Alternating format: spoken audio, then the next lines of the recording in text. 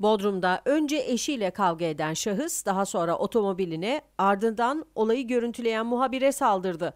Olay karakolda sona erdi. Dün akşam saatlerinde Konacık Atatürk Bulvarı üzerinde yaşanan olayda eşiyle tartıştığı ve ardından darp ettiği iddia edilen İÖ adlı vatandaş daha sonra otomobiline saldırdı. Eşi ve 9-10 yaşlarındaki çocuğunun gözü önünde otomobiline taşlarla zarar veren şahsı eşi ve çevredeki vatandaşlar sakinleştirmeye çalışsa da kimseye kulak asmadı.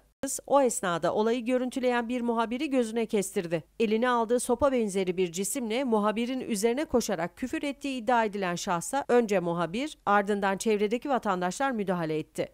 İhbar üzerine olay yerine gelen polis tarafları gözaltına aldı. Görgü tanıklarının ifadesine başvuruldu. Olayla ilgili başlatılan soruşturma devam ediyor. Şahsın otomobilinin de hasar aldığı görüldü.